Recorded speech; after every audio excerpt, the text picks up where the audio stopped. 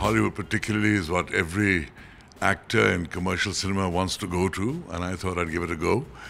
But you know, the basis for all my uh, travels abroad, all my success, has been the Sandokan television series, uh, which made me a star in Europe uh, and many other South America and many countries where um, Italian, Spanish, French, etc. is spoken. Nobody in those days had PR agencies and press agents, etc.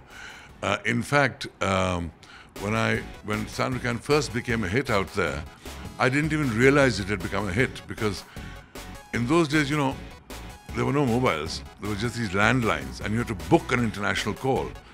And if you had to book an international call, then somebody would call you back three hours later and say you're on.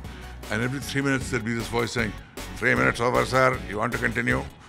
So those were the days. I went there with Parveen Babi, who I was living with at the time.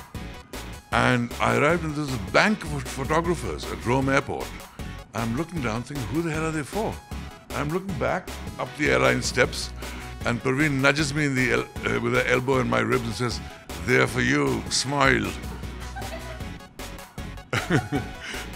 and that's when I realized it had become such a big hit. And the records of Sandokan's transmission have not been broken on European television till today.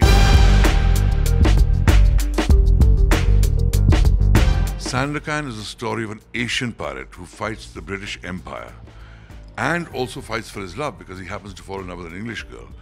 But the main struggle is the struggle for personal freedom, for the independence of his people, a handful of people uh, fighting the might of the British Empire.